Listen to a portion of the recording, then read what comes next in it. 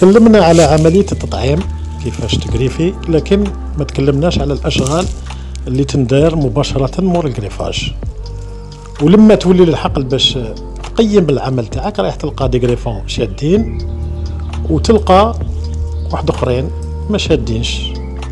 والأسباب متعددة. ربما الريح ربما طوير حطوا بوجه ربما العود كان ناشف.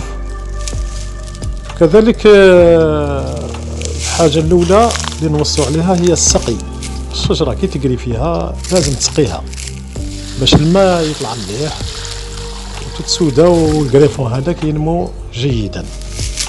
الحاجة الثانية اللي هي كذلك ضرورية الخلفة هذه اللي تنبت من تحت لازم كامل نحوها على خاطرش غادي تنافس الطعم لو غريفون في الضوء وفي التغذية وفي الماء وربما يضعف ويموت.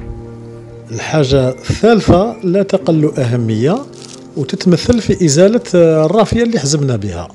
على خاطرش ربما تكون مزيرة مليحة على الساق وتعيق السريان تاع العصارة. وبالتالي الطعم ما يتغذاش مليح وقادر يموت.